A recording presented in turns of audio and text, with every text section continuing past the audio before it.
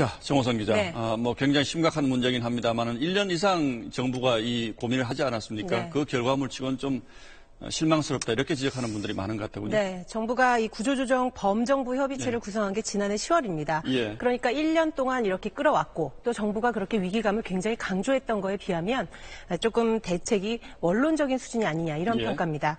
아, 공급 과잉이니까 감산하고 또 인원 줄이고 또 업계 자율로 M&A 유도하고 이런 것들이 다 좋은 얘기인데 어떻게 하느냐가 빠져 있다는 겁니다. 예, 고강도 사업 재편을 유도할 수 있는 당근과 채찍, 그러니까 좀 더 구체성 있는 대책이 없다 보니까 실효성에 의문이 제기되고 있습니다. 예, 특히 이 대우조선 해양에 대해서는 회생이 불가능하다 이런 그 얘기를 여러 차례 한것 네. 같은데 어, 그럼 지금 와서는 살릴 수 있다고 본 건가요?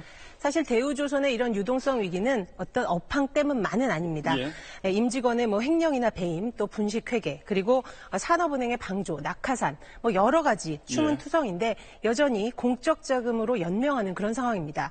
그래서 정말 뼈를 깎는 그런 자구책이 필요한데 일단 골치가 아프니까 좀 규모를 줄여서 버티고 다음 정권으로 이렇게 폭탄 돌리기를 하는 거 아니냐 이런 지적도 있습니다. 예. 게다가 무엇보다 지금 최순실 씨 파문 때문에 정책 추진력이 굉장히 약 화되어 있는 상황이기 때문에 이 구조조정 측면에서는 상당히 악재가 아닐 수 없습니다.